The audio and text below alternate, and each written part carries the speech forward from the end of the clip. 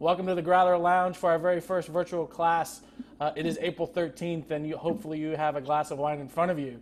Uh, actually, you should have two glasses of wine in front of you. Uh, if you can, uh, make that happen. You should have uh, poured both yourselves uh, a glass of the Bordeaux, a glass of the Rioja, and once we kind of settle in and I pour myself a glass, I actually have in-house IT today, thanks to the Harpers, to make sure to make sure that the signal stays uh, in place.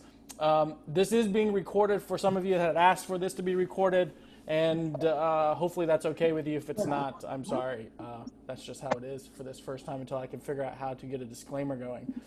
Um, there is a live chat. If you haven't figured out where the live chat is, there is a more button at the bottom of your screen. It says chat. You can either do that within the screen or you can pop that out and have that as a separate window on your desktop. And if there's any questions, uh, just flag me down. I'm looking at live conversations as they happen, and I think everybody can see everybody's conversation. Uh, it seems like everybody's unmuted at this point, so if you have something to say, it should flag you uh, and then give you the give you the show. All right. okay. I heard myself in the distance here. It's echoing. Standby. But I'm glad to know that it's working. Okay, friends. So let's. Uh, I, this is a, a different than a traditional class, mainly because we're going to jump around from two different regions, talk about two different wines, and so the, there's got to be some tie-in that connects these two things together. Obviously, I wanted to highlight the 2005 vintage mainly because uh, both in Rioja and in Bordeaux, those were considered exceptional vintages, almost vintages of the century. Both of these wines, while very stylistically different, kind of showcase the quality of the vintage and how well lived they can be.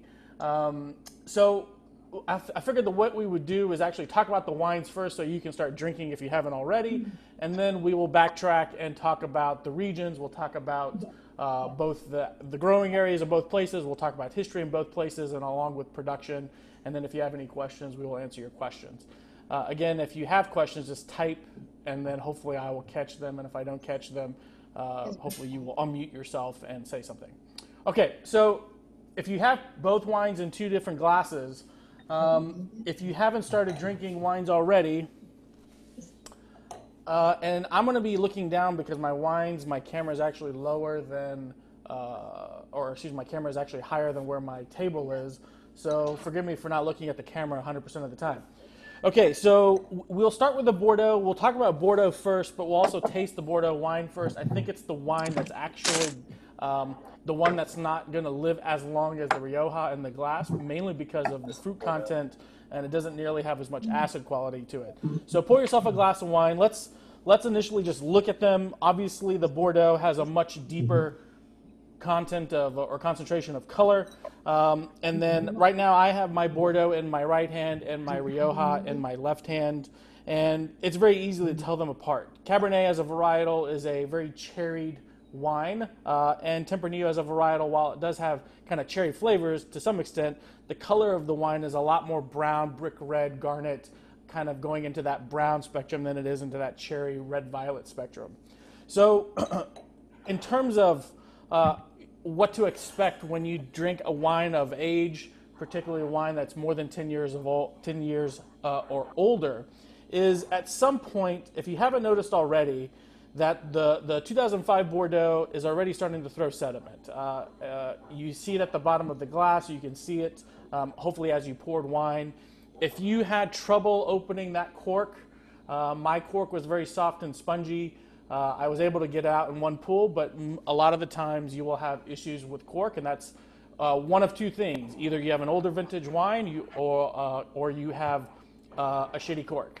And so you have to understand that if you're in terms of expectation, uh, how do I know what I'm drinking in terms of, let's say, in, in, the world of a blind tasting? If the if the cork is spongy, soft, uh, you either have a cork problem or you have a vintage wine. After you remove that cork, if you have sediment, uh, more than likely you have a wine that is also a vintage. Uh, but that same thing, meaning if you have, if you know you're drinking a younger wine, and you have a sediment, more than likely you have a problem or a wine that wasn't necessarily fined or filtered in its production. So there are some clues in terms of what you're looking at uh, that give you insight in terms of how that wine was produced and actually where it is in its lifespan. Okay, so I am looking at my Bordeaux wine. I've basically, I'm going to stand up for a minute so you can see what I'm doing. I poured, look, I'm looking at my wine like this. So I'm almost tipping the wine outside of the glass so I can look directly into it. All right? and ideally, you have a white background so you can actually see through the wine. If you don't have a white background, you could use your palm of your hand. That works quite well as well. But in reality, what we're looking at is the shift in terms of very bright cherry colors into uh, kind of browner colors. And browner colors are a range of browns going from uh, what you would think of as actual brown, but there's shades in between that. You could think of them as terracotta colors. You could think of them as red brown, brick red, tile red, um, even into that kind of spectrum of amber uh, when it's really aged. But in reality, I would say that this wine is starting to turn a little bit brown. It's not brown by any means, but there is some, I would call it bricking towards the front of the wine. Um, the other thing to pay attention to is really, as you look at the wine, will it still kind of spread out like that? Is I just read Don's comment. uh, I usually I usually put two wines in one glass. uh, hopefully, maybe at the same time, Don is the question. Um, usually, when you're looking at your wine in this kind of position, um, th- you'll notice that from the front of the wine, where the opening of the glass is, all the way to the part that's closest to your hand, there's a transition of color. Now, those transitions of color uh, indicate uh, a lot in terms of both uh, maturity of the wine, but also in terms of complexity of the wine. And really, what we're looking for is while we notice those transitions, we're also noticing that there's a color change. And so, really, what I'm seeing is a wine that is starting to show um, some maturity. It's starting to turn slightly off color, meaning it's not that true dark cherry color. And you can see that the transitions are starting to become um, more smooth, even though they're very kind of upfront towards the glass. They are they are showing uh, some tr- smoothness between one transition and the next transition. Okay, so let's if you haven't already swirled and smelled, give your glass a smell um, and give it a swirl and a smell.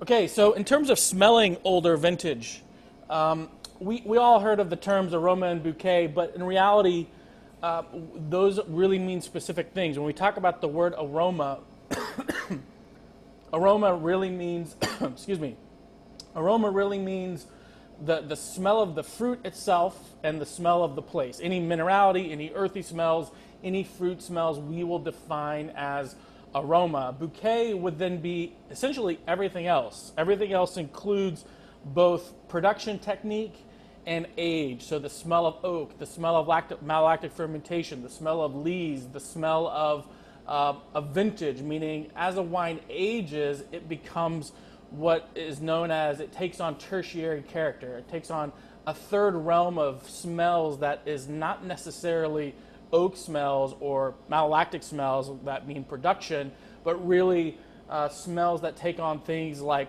mushrooms and, and um, hoisin sauce and kind of these umami characters, this kind of combination of both savory uh, and sweet characters is what we really pick up on the kind of tertiary smells. So as you smell and swirl, um, the idea is can I pinpoint both fruit character, non fruit character, if there's any earthy smells? Can I pick up production smells, which would be the oak? And then because we're drinking a 15 year old wine, um, what else is there? What else is there that's lending itself to uh, these kind of leathery, savory, umami type of characters? So give it a smell. Constantly smell, constantly swirl. There is a situation at some point where this wine will essentially die in the glass, meaning it's of the age where it can't keep itself afloat. There's not enough structure there. It's past its prime.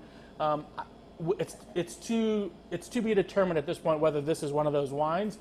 The reason why I said that this wine is probably the wine you would like to drink completely tonight and then uh, save the Rioja for, or partially tomorrow, assuming you need to save some wines for tomorrow, is mainly because when we get to the Tempranillo, that Tempranillo is going to have uh, a lot more acid structure uh, than, than the Bordeaux. When we get to Bordeaux and we talk about the growing area and the conditions in which grapes grow and how wines are made, uh, we will talk about why some of these smells are actually uh, coming through in the glass, mainly because we talk about terroir as a end all be all, but at the same time, we need to put it in context in terms of how the wine were produced, particularly in these places like Bordeaux, like Rioja, where production technique um, very much is at the forefront of how those wines are produced. They are very much stylistic, producer driven wines, meaning they like to use a lot of oak, they like to age wines for a long time. That's not necessarily a fruit or a terroir thing. That is very much a winemaker producer thing. So we got we got to understand um, the difference between those two. So for me, what I'm smelling is this. Let's talk about fruits. Uh, it's, a, it's a very black cherry component, uh, almost like a Luxardo cherry.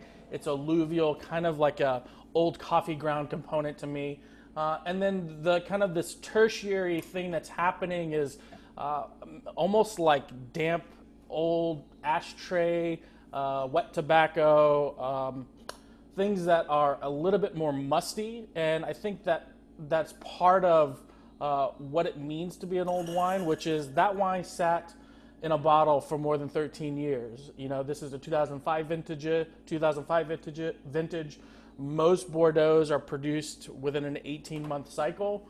Kind of your finer Bordeaux's are produced in a 24 month cycle. So it, let's call it 13 years it sat in that bottle with very little exchange of oxygen, which means that a lot of that fruit character becomes somewhat muted, and we call that reductive. And so, as this wine breathes and open, the question is does it become more fruity or does it completely fall apart? Right now, it's, it's showing fruit, but it's also showing a lot of this kind of closed, reductive character at the same time.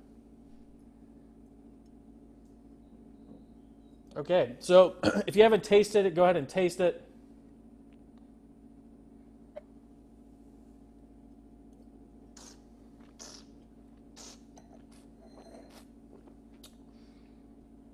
Man, that's good.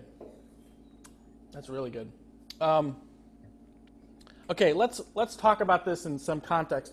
Like, why is this a good wine? First of all, um, the question is: is it one? It's still alive after 15 years. Keep in context that really, 95 to 99 percent of all the wines in the world are not really meant to age more than five years. They are considered wines that you need to drink upon release. For a wine to live more than five years, much less more than 10 years, um, that still is showing character, balance, uh, liveliness, freshness is something special. The other thing is, is that when you taste this wine, there is a um, a concentration of flavor that is only provided through uh, uh, really this idea of a very long growing season or a varietal that takes up the full growing season. What, and what does that really mean? When we talk about Bordeaux and typically Western European wines, we talk about the growing season between April and October. These wines are typically, excuse me, harvested in mid to early um, or uh, early to mid October. And Cabernet in particular is a late ripening varietal, so it needs a full growing season to get the full flavor, to get that weight, that concentration of flavor that makes that wine feel like you are um, getting an experience that kind of just envelops the entire palate.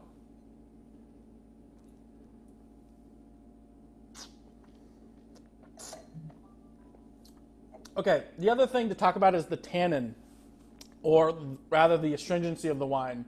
We talk about tannins really as that uh, that drying sensation, that astringent reaction that we give to the palate.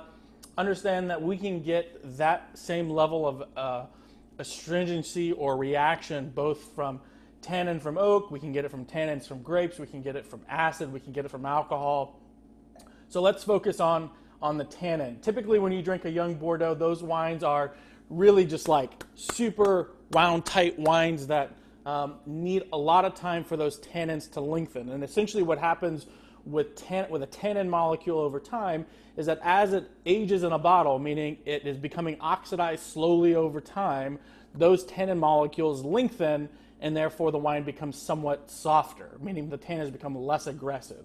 So what's happening is we're experiencing a wine that has been exposed to oxygen, that the tannins are becoming softer, which means that they are becoming integrated with the rest of the wine. So then what's the rest of the wine? The rest of the wine is the fruit character, the acid character, the overall body of the wine. Um, and we can talk about those, but the idea is, is, is the wine complete? Meaning, is it, does the, does the level of tannin match the body and the concentration of the fruit? I would say yes. Does the level of acid kind of stick out in any weird way? Not really. Does the alcohol, do you smell alcohol? Do you taste alcohol? Not really. So the question is, is this wine still very much alive as a 15 year old wine? And I would say yes. The question now is uh, will it be alive in an hour from now, or when this class is over, or this evening when you want to drink the rest of the bottle, assuming you don't suck it all down like I will in the next half hour?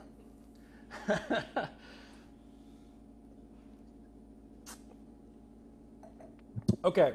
Um, let's talk about finish briefly, and then we'll kind of move to the Rioja We'll talk about the Rioja wine.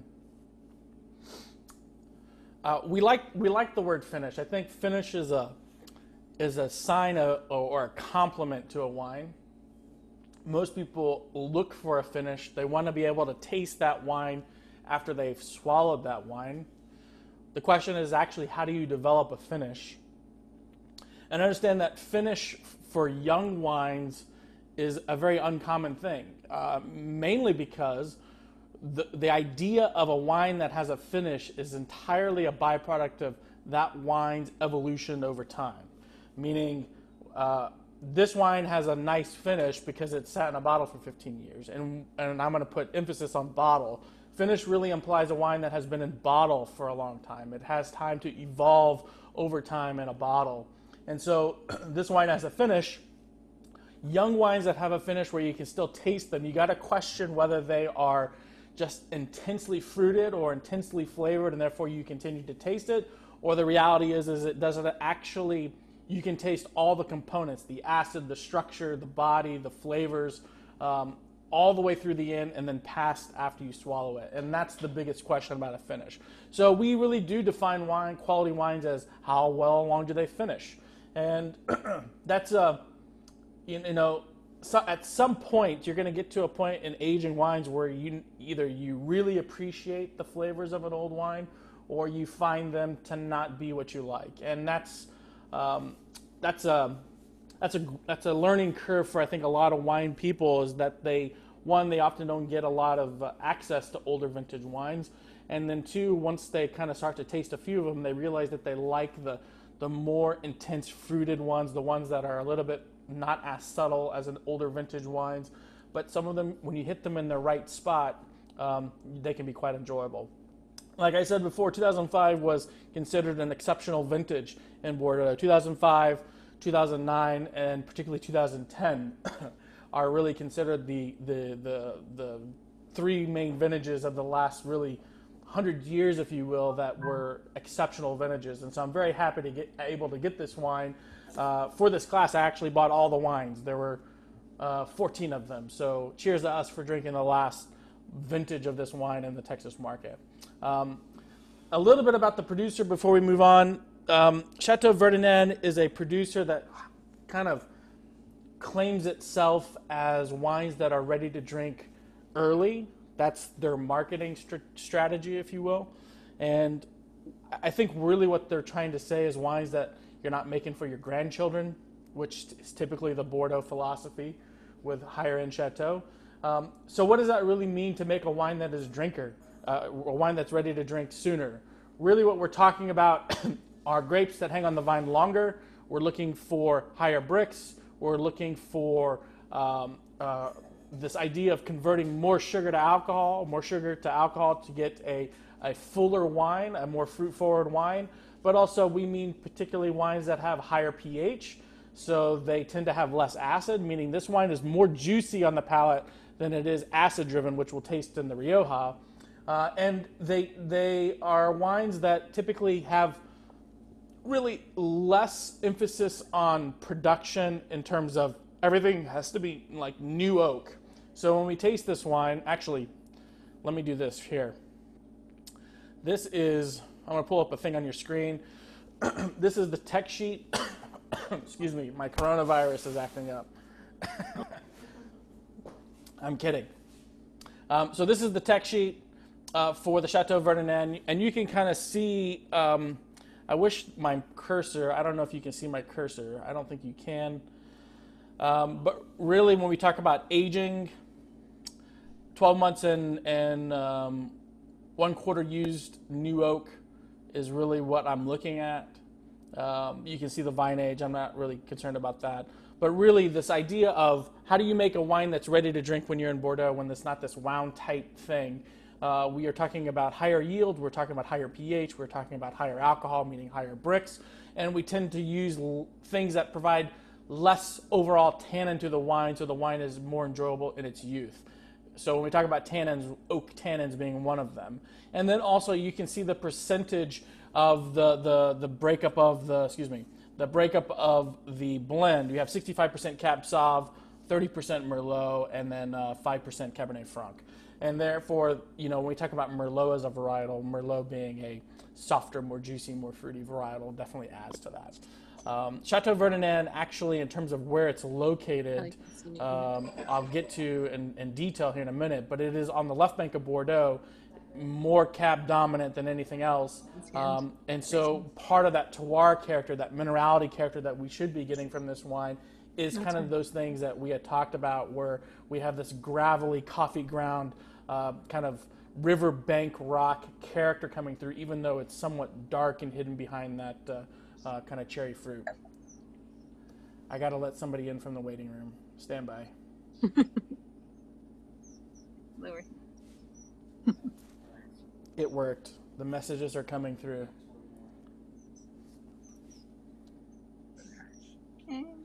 All right. Yes.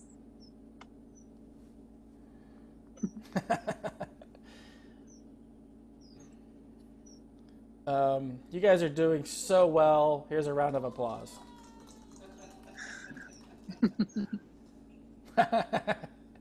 I don't know if you're doing really well or not. Hopefully, you have a glass, at least a half a glass in you at this point. Otherwise, I'm going to get really boring really quickly. Okay. Okay, so let's go to let's go to the Rioja wine we're gonna come. You know, the whole idea is to get the wines out of the way so we can talk about the places. So don't feel like you have to consume everything right now. We're gonna talk about Bordeaux. We're gonna talk about France a, a little bit, but I wanted to get the wines out of the way so uh, uh you don't have, feel like you have to wait to drink them. Not that, that you would. Okay, so um, let's talk about Rioja, Gran Reserva Rioja. Uh, let's talk about Tempranillo briefly. And I'm going to pull up another image here. Hopefully that will work. There we go. Um, this is basically about Tempranillo.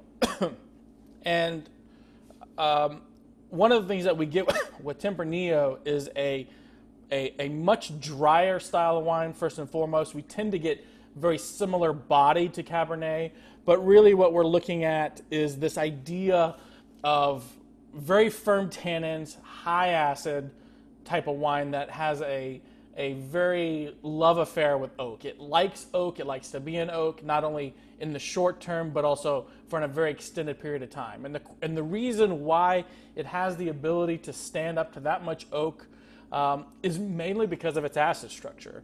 Uh, acid being the number one preservative of wines, it needs it for both microbial protection, but it also needs it for freshness. And so, the more acid you have in a wine, in reality, the longer that wine can live, as long as it has other things to kind of go on that it can lean on, like color, like tannin, uh, like alcohol, and, and body, and things like that.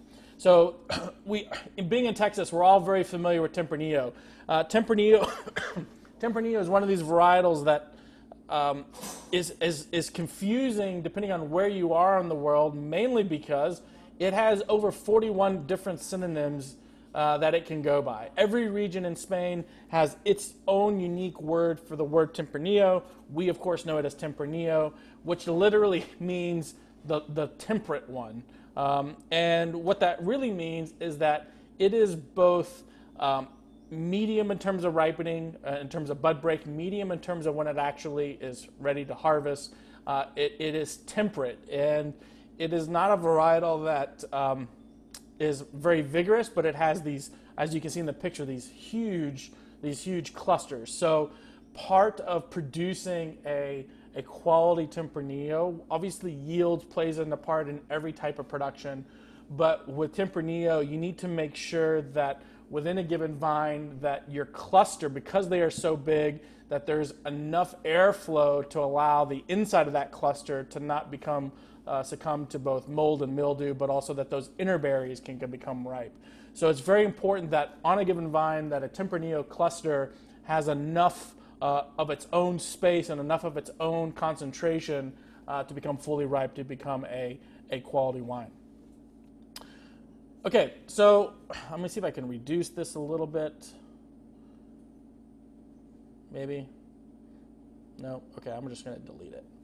Okay, so give it a, if you haven't smelled it and looked at it, give it a smell, give it a look. Obviously, the color of this wine is much more brick red, tile red than the cherried Cabernet. Um, I, uh, just to kind of be transparent here, you guys are drinking a 2005 Gran Reserva Tempranillo from Rioja. I am drinking a 2007 Gran Reserva. Um, I ended up, uh, the order that I had placed for these wines, they did not uh, send me all the bottles because they ran out. So they sent me what they could. Um, everybody in the class got the right wine. I'm actually drinking an older vintage wine. Um, but nonetheless, it's still Tempranillo, and uh, it'll give us the same kind of context. Okay, so give it a swirl, give it a smell.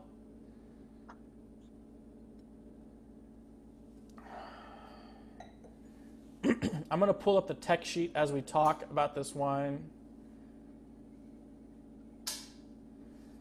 Here's your tech sheet for this wine. Sorry if it's fine print. I don't know if you can even read that.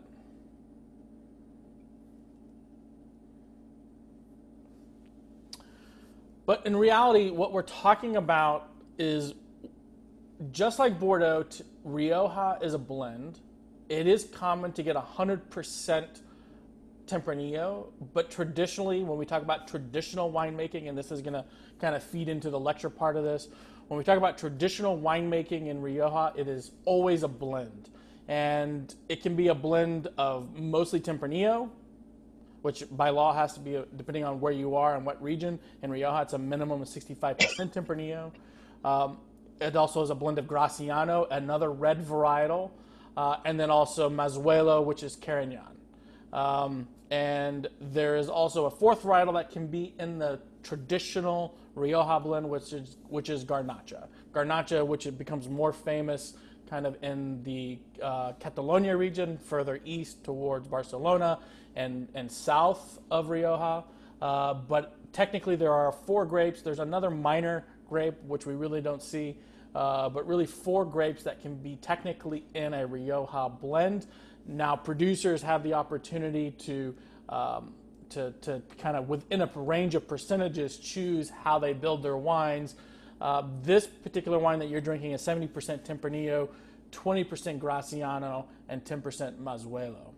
And you can see the aging, uh, aging in um, second year medium toasted American oak from Ohio and French oak for a minimum of 30 months, and then six months um, in a basically tank, and then another 36 months in bottle. And so uh, we're going to talk about aging rules when we get to the region here in a second, but I wanted to get you an idea of how much production went into this wine uh, in terms of not before you even got it. So uh, when we talk about this is basically where we're at. We're at 66, 72 months. 70, yeah, 72 months, um, which is six years. Six years of, of production just to produce a wine that eventually hit the market. So you're drinking a 2005. This wine got released into the market in the fall of 2011, um, which is which is an odd an odd thing to consider. So I expect um, more character of oak, more character of oxidation because of that time in oak. But the question is, is how savory does it is it going to be? Is it still alive? Is there freshness? So if you haven't smelled it already, give it a smell, give it a taste.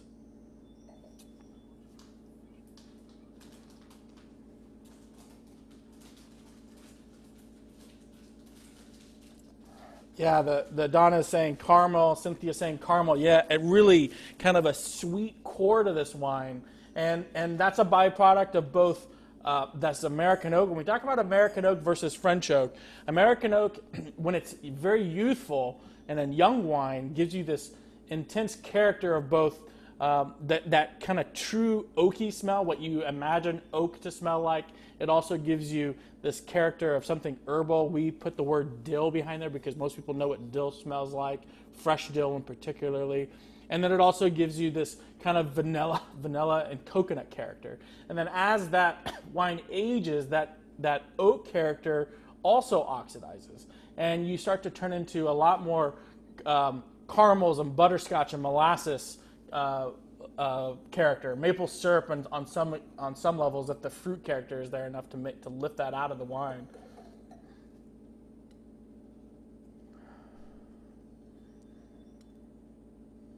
The other thing that a lot of people get out of Tempranillo is, is a little bit of a, of a spice or pepper component.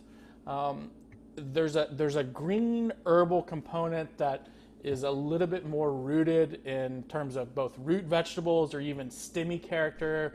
Um, I kind of, and Wes, I'm kind of thinking about um, like a cigar when you, after you put out a cigar and you come back and smell it, it's got a little bit of that earthy, dried herb, dried leaf character to it that can tend to lend itself to be a slightly more spicy than, than sweet. All right.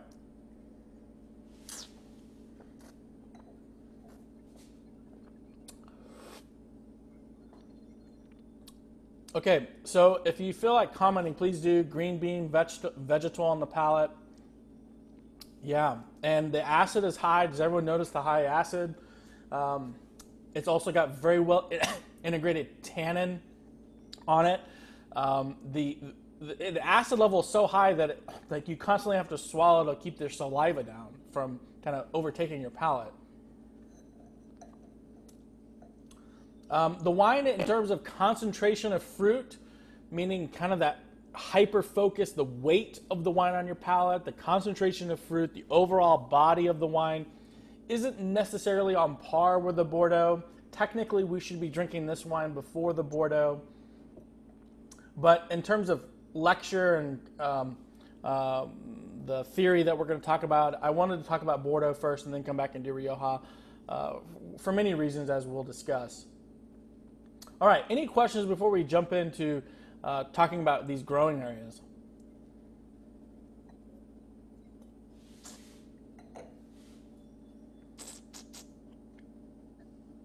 So far, no technical difficulties thanks to my in house IT team. And I told myself if we get through this without any issues, I'm drinking another bottle of wine. You should also drink a third bottle of wine just because. It's, it's Monday. Cheers to Monday. Hope everyone's surviving Corona, Corona 2020. Next year we'll have Modelo 2021.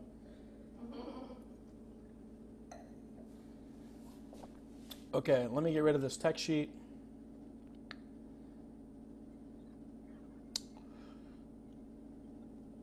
Okay. So we're going to talk about France and then we'll specifically talk about Bordeaux. It was interesting trying to figure out how to, you know, doing a virtual class is not like doing a, a normal seminar or a lecture. Um, and I don't know why, but it feels different mainly because of the technology, I think. But um, there's no reaction from the audience, from the students, to really know if I'm um, talking over your head or not, or if I'm not providing enough information. So please let me know if this is too elementary. I can go in deeper detail, or if I need to um, uh, back it up a bit and, and, and simplify things a little bit more. Okay, hopefully this map is big enough for you. I don't know. I'll try to make it, that's as big as I can get it. Okay, this is a map. I took it from Wine Folly just because they have great maps. um, so let's, when you look at the, the, the country of France, obviously um, it's not as big as the United States. Uh, it is one of the larger European wine regions. And it is a region that's really divided into 14 different growing areas. And within those 14 different growing areas are what we would call appellations. And uh, let me back up. I guess what I'm trying to get to is the nomenclature for how we'll use terms, the proper words in which to talk about a place. So in France, there are 14 growing areas, we'll call them regions. Within a region, there is an appellation, which we're going to talk about the Bordeaux appellation. And then within the appellation of Bordeaux, there are what is known as communes. And then within a commune, there is known as what is a village. And then within the village, there are vineyards. Okay? So as we kind of move up in terms of detail of a place, that's the hierarchy. We go from region, we go to appellation, commune, village, vineyard.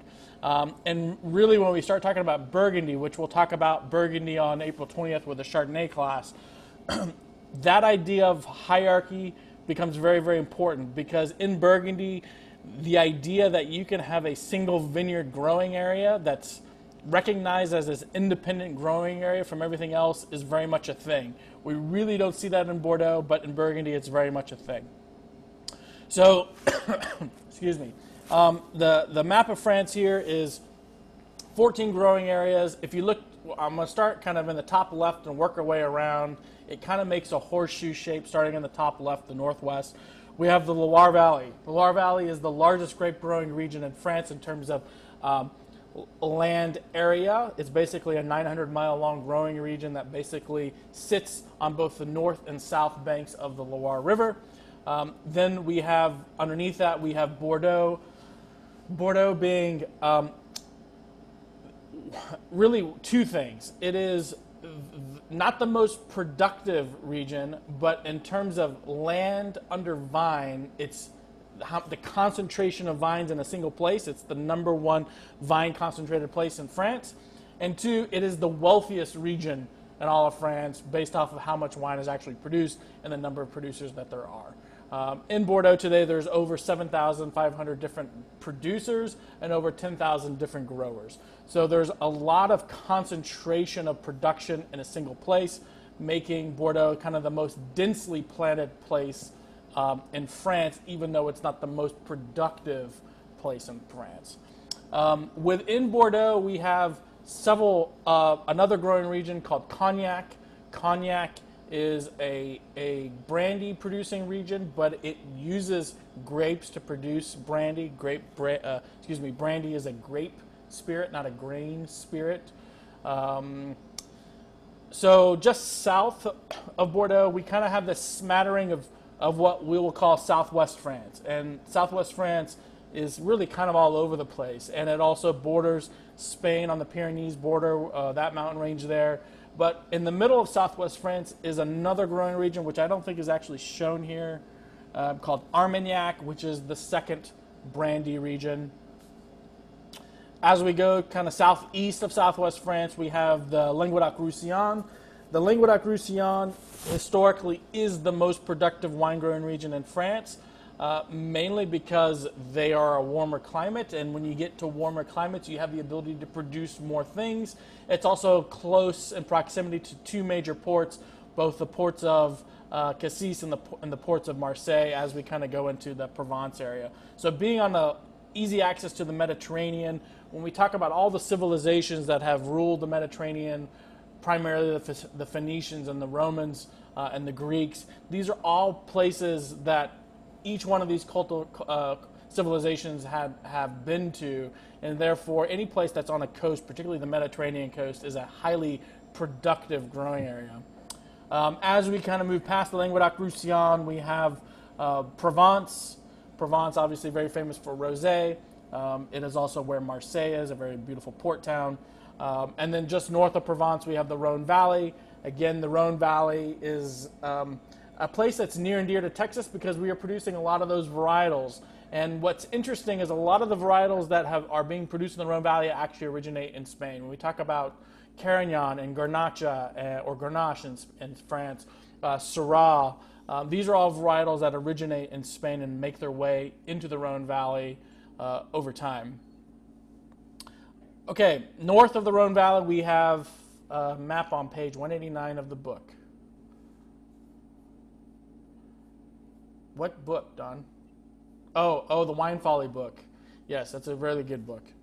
Um, the Rhone Valley, uh, just north of the Rhone Valley, we have Beaujolais and Burgundy, uh, Gamay and Pinot Noir and Chardonnay, uh, which we'll talk about Chardonnay on again on 420. Um, to the east, that hugs basically the, the French and Italian, uh, the French and Italian Alps is basically um, not the Italian Alps, the Swiss Alps is uh, the, the regions of Savoy. We also have the regions of Jura, these kind of very alpine styled wines. Um, and then we have more famous regions as we continue going further north. We have Champagne, of course, and then Alsace. Uh, and those are your, your kind of 14 main growing areas of, of France. So we are really going to talk about Bordeaux. And let me get rid of this map and pull up another map. All right. So when we talk about Bordeaux, um, I wanted to talk about Bordeaux first because it technically is. Oh, did you hear that sound? I love that sound. I don't know if you heard that sound, but that means more people are taking classes, uh, which I appreciate very much. Um, uh, I want to talk about Bordeaux first, not not because it's the oldest region. Actually, Spain uh, is much older. Uh, Spain really goes back to 1100 BC. Um, Bordeaux uh, really became a region in the early fourth century by the Romans. Um, I wanted to talk about Bordeaux because it sets a lot of precedent for how Europe in general does a lot of things, but one of the, the, the, big historical things that we'll talk about when we get to Rioja is a direct byproduct of Bordeaux. Um, and I, there's a many stories within a region. I, am going to talk about uh, one or two stories uh, for each region. that way we have some context and some glue to work off of. And then, um, and then we'll kind of move on. But let's talk about the, the map here for a moment. Um, so Bordeaux is a is a growing area that basically is an estuary that sits on the Atlantic Ocean. It is a region that for for most of its early history was not a growing area. It was essentially a a trading post. It was a mall. It, it was a it was a place for commerce, and so um, you had a lot of craftsmen, artisans, uh, people that would come to Bordeaux in terms of its its city and they would trade goods and services. And uh, over time, what we end up having uh, is a situation where the Dutch would come in into the mid and late 1600s and start to drain um, a lot of the water in terms of the swampy areas that were developed in this estuary that allowed it to become kind of this pristine growing area that it is today. So when you look at the map, you can see the there's a, there's a Atlantic. You can see the beginning of the Atlantic Ocean on the left side, and then you have one very very large river that then divides itself into two tributaries. The very large river is called the Garonne River, and then you have two tributaries that are formed. one called the Dordogne and the other one called the Gironde.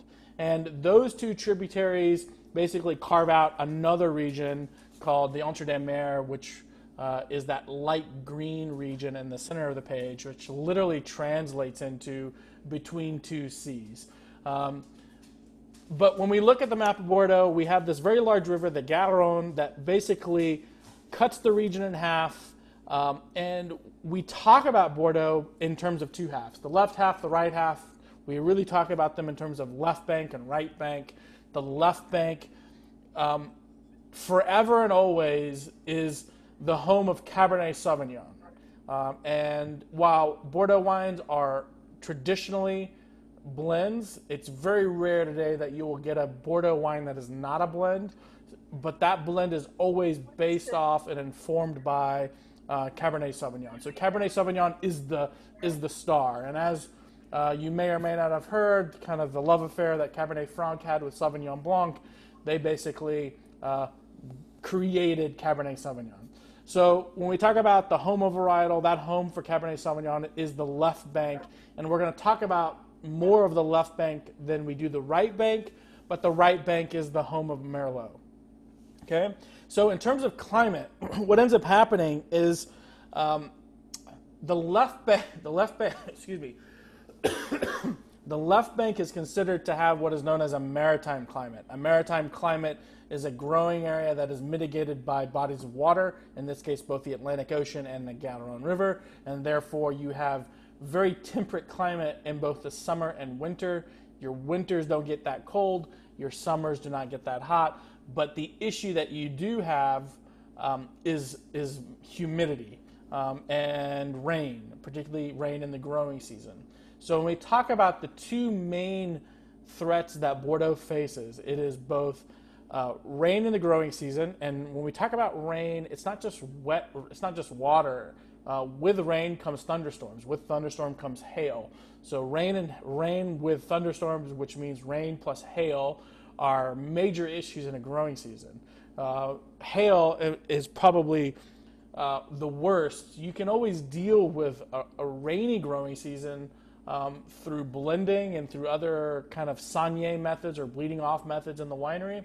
But if something comes along and hails you out, you, you, your fruit gets destroyed, your leaves get destroyed, your entire canopy, canopy can be destroyed. So rain and hail are the two biggest issues. And then humidity. Humidity is uh, we whether we have this term in the wine industry that growers use called um, um, the term disease pressure. So when we talk about disease pressure, really what we're talking about is mold and mildew, and it is, is it is in Bordeaux where not only do we get the world's most famous wine sauternes because of this humidity that produces mold and mildew, but it is also because of Bordeaux where we figured out how the rest of the world should deal with disease pressure. Like, how do you deal with fungus and molds and mildews that are growing in your vineyard when you don't want it to produce a dessert wine, um, mainly because you don't produce dessert wines. So uh, these are things that have affected the rest of the world, which we'll talk about um, uh, here shortly. So Bordeaux again uh, on the left bank. First and foremost, Cabernet Sauvignon is the is the king. It's the star. It's the grape that we pay the most attention to. The growing area, um, and you can kind of see these colors here, this legend. But the outline of basically Bordeaux is basically the entire left bank and the right bank, everything that surrounds uh, the, the boundary of this image that we're seeing on our screen. And then everything, if we were to produce a wine just from the left bank, that would be the next image down, which would be called the Medoc. And the Medoc is the, the boundary of the darker purple image both from um, the northwest on the north side of, of the image uh, all the way down to the south where it kind of hits that yellow, uh, kind of off-white, uh, or excuse me, off-yellow color at the bottom of the image. So the Medoc is basically the, the, the word that we use for left bank. Simple. Now with, within the left bank or within the Medoc, we have sub-appellations um, and sub communes.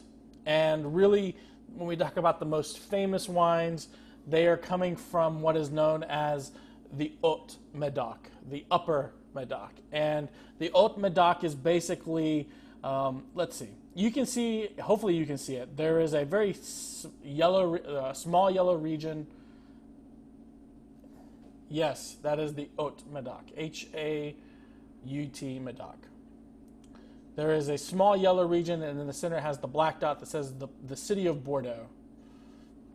and you can see the light purple just north of that. And there's a little bit more of that same light purple kind of further north of that.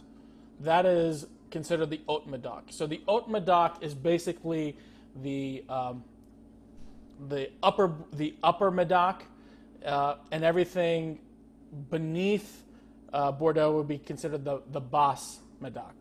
and that would be considered a different region, which we'll talk about here in a second. So the wine that you're drinking is from the Haute Medoc. It is a wine that is actually from the commune of Pauillac. Pauillac is another one of your colors here on this page, but it is a wine that, while the winery is located there, they are sourcing grapes from within the Haute Medoc. Okay. Okay, so the region th- that's south of um, Bordeaux, the the center yellow dot on the left side, that is known as the Greater Graves. Graves literally translates into the word gravel. And this is where your very famous white Bordeaux's come from. And then further south on that side, you can see the, the, the, the most famous dessert wine growing areas are the regions of Sauternes and Barsac. And those are kind of located at the very bottom um, in terms of that, that true brown, that true yellow at the very bottom uh, of the image uh, within that larger purple area. So that this is what constitutes the left bank. Uh, in the Medoc, you have the world famous red wines. In the Basse Medoc, you have the world famous white wines plus dessert. Now, when we talk about white wines, we really talk about Sauvignon Blanc and Semillon, uh, both for dry and sweet wines. And when we talk about the very famous red wines or red wine in general, Cabernet Sauvignon is the most important, along with the four primary blending grapes, which are uh, Merlot first and foremost, Cabernet Franc, Petit Verdot, and Carmenere. Uh, Malbec historically is one of these varietals also, but uh, Malbec uh, really takes a major exit after the end of phylloxera, mainly because it is a very difficult varietal to graft to. Uh, and so it made an exodus from Bordeaux and ended up finding its way into Argentina, which is where it kind of thrives today. okay, so on the right bank, right bank is um, mostly Merlot and Cab Franc. Very little Cab Sauv is planted in the right bank, and your most important growing areas are growing areas by the name of Saint Emilion, Saint Emilion Grand Cru, and Pomerol. Those are your three big growing areas. but there's very there's quite a few other smaller communes that are also quite well known that are more value driven. Uh, even Saint Emilion Grand Cru, you can find those wines at really affordable prices that are quite delicious. The right bank is always going to be um, more affordable, more value driven than the left bank, mainly because the land lends itself to more production, uh, but also Merlot. You know, people tend to judge Merlot, unfortunately so. Um, there is one exception, which is uh, there is a winery in Pomerol called Chateau Petrus, and Chateau Petrus is uh, literally the world's most expensive wine, and it is Merlot and um, Cabernet Franc. Uh, I'm sure we've all seen the movie Sideways, and the very last scene in the movie Sideways, he's drinking his his most precious wine from the 1969 vintage of Chateau Cheval Blanc, Chateau of the White Knight is literally the translation. Chateau Cheval Blanc is a right bank Bordeaux. It is a Merlot and Cab Franc based wine. So they sent the, they spent the whole movie bashing Merlot, and then in the very end, he drinks his favorite wine, which is Merlot. So there's a a back a backward compliment that no one really got, and unfortunately, it destroyed the entire market for Merlot. Although although um, what's exciting about Merlot today is I think they got the message, and now they're making very serious styled Merlots that aren't just grape juice for adults. And so, if you haven't had Merlot recently, you should definitely give it another try.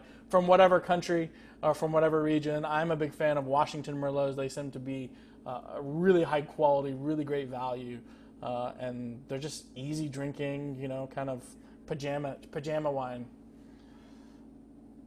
Okay, and then the other third larger region um, that looking at this map is the Entre-deux-Mers, the, the region between the two seas, the regions between the two tributaries, the Dordogne and the Gironde uh, tributaries. Um, this is primarily a white wine growing area, Sauvignon Blanc, Semillon. You do get some red wines, but this red wine is um, um, not nearly as structured uh, as what you see on, on the, uh, the Medoc side or the Haute Medoc. So, as a rule of thumb, what ends up happening is as you go from the very beginning of the Garonne River where it meets the Atlantic Ocean, as you move um, both inland and south, um, the wines become a, a, little bit more. Um, I want to. I'll use the term finessed. That doesn't mean that the wines can't be very big-bodied, very structured wines. The the region itself was was created out of a glacial melt that happened millennia ago.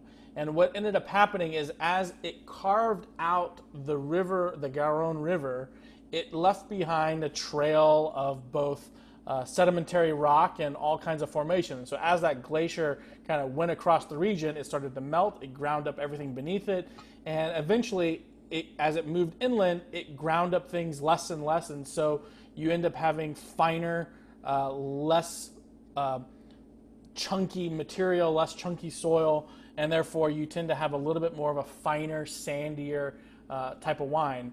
And then by the time we get to the right Medoc, or excuse me, to the right bank, we end up having a high propensity for a lot more clay-based soils. Um, and so the, the shift is, is very apparent between left and right bank. The left bank being very gravelly and the right bank being very clay-based, which is kind of the, the, the reason why Merlot thrives in clay-based soils. Clay-based soils produce a little bit fresher style wines. They produce softer style wines. And in terms of soil, they tend to, uh, while they uh, uh, uh, absorb more water, clay is not a type of soil that likes to give its water back. So it creates an environment that that Merlot likes. Conversely, Cabernet likes very well drained soils, gravelly soils being that very well drained soils. And it's quite amazing, you know, over history that the Dutch were able to come in in the 1600s and basically drain the swamp and create a growing area that has become world class. And and so we talk about places that uh, grapes that need a lot of stress to to um, to become high quality wines. Well, this is uh, uh, in Bordeaux when we talk about particularly in the left bank. These are soils that are very rich, very alluvial, that have a lot of nutrition in them. Uh, uh nutrients in them that allow grapes to thrive. So the question is, is how do we get stress into the vine? And one of the biggest ways that we see stress be applied to a vineyard in France is by how much is planted per, he- per acre, or really per hectare. And again, uh, one acre is 2.47 hectares.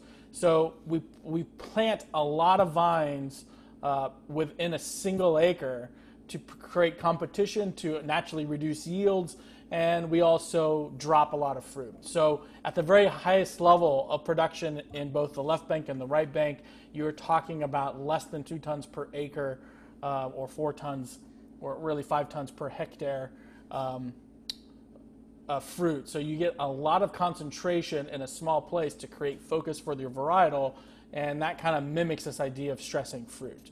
Um, in addition, we also have a very long growing season. Again, the two the two big primary issues within the growing season of Bordeaux uh, are rain, hail, and I guess the third issue would be uh, disease pressure from humidity.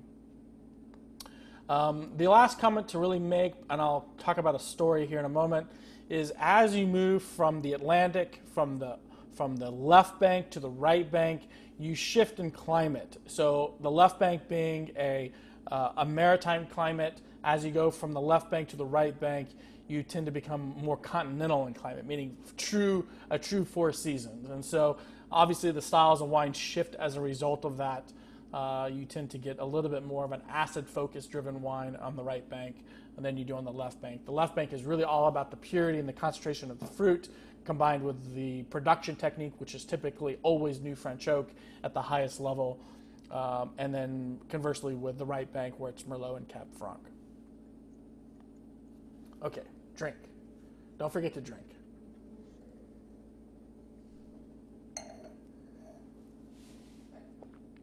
Let's see, any other?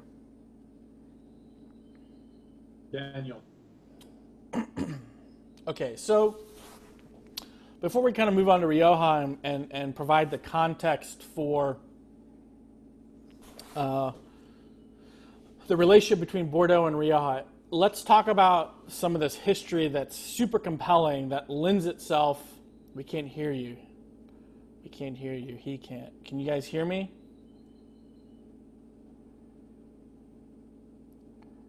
We can. Okay. Look at the look at that vermin. it's just waiting for you, Don. Come and get some. Uh, okay. Uh, so we're talking about kind of the, the, the history that led up to um, why Bordeaux sets precedent for so much of what we see in, in Rioja. Um, I'm, I'm, I'm going to make the assumption that we've all heard of phylloxera, uh, that, that aphid that basically destroys 98%, 99% of all the vineyards in Western Europe. And the result, the result is uh, basically this use of grafting from Native American rootstock onto European vines to basically produce a, um, a, a, symbiotic relationship within the vine root relationship, or excuse me, the, the, the vine root relationship to make sure that that vine stays alive and is not destroyed by phylloxera. I think we've all heard that story. Uh, one of the things that I think we, we really don't know, uh, or we, have, we may have not heard, is that prior to phylloxera, we have the, you know, we talk about the, the, the three horsemen, you know, phylloxera being one of them, but the other two horsemen are powdery mildew and, and downy mildew, which are, are all pandemics that the U.S. gave to the rest of the world because we're awesome and we do things like that. So the issue is, you know, Bordeaux was the, really the first European region to be exposed to downy mildew and powdery mildew. Uh, all, and again, all this is prior to 1863 when phylloxera was, was first uh, at least observed in Bordeaux. Um, and the question is, is what did we, what, what, what was, what, how was that handled? And the reality is, is that um, through the through the use of chemistry and our understanding of chemistry at that time, we were able to create several concoctions that dealt with both powdery mildew and downy mildew, of which are widely used today um, in Texas vineyards and every vineyard around the world, particularly in organic vineyards. And um, organic farming is a conversation that is important to have. The question is, is how do you deal with the issues in a particular growing region? that make the process of application sustainable. Um, and that's a conversation we can have another time, but understand that every time you have to make an application in your vineyard, it requires people, it requires a vehicle, um, or if it's done by hand, that means economics. So when we talk about um, organic farming, it's very difficult to farm a vineyard organically in a region that has a lot of disease pressure, meaning a region that has humidity in its growing environment or a region that has rain in its growing season, like Texas, like Bordeaux, like a lot of other places around the world. It's not impossible, it just takes a lot of resources and a lot of money to make it happen. So there's, there's two things that came out of a result of Bordeaux that are used around the world today. And one is called the Bordeaux mixture, and the other one is sulfur. And we talk about sulfur, SO2, and sulfites as a, as a negative. But in reality, sulfur is, is one of these, these beautiful things that, ha- that we have at our disposal to use that allow us to protect the plant and the vine and the fruit and the ultimate juice in a way that um, other things can't because it's so evasive.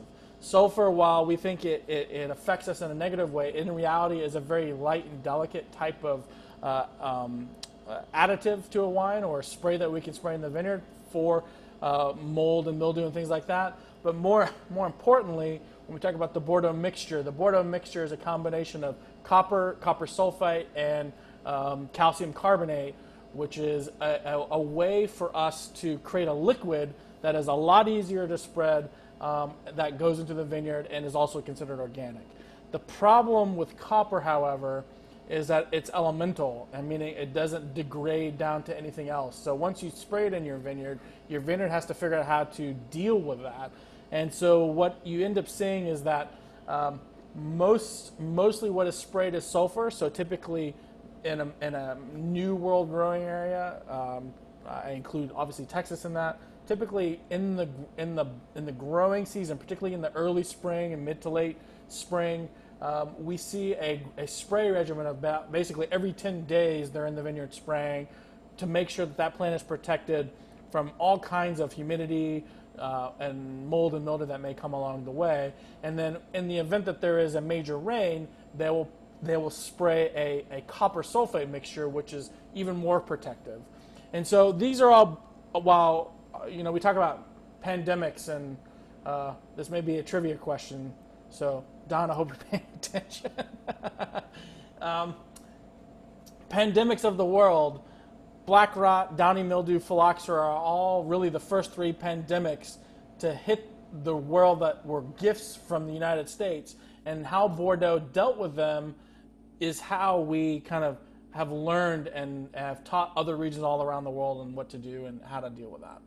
Um, the other the other thing to talk about as a as an outfalling of these pandemics is at some point you get tired of dealing with issues and you decide to close shop and go someplace else.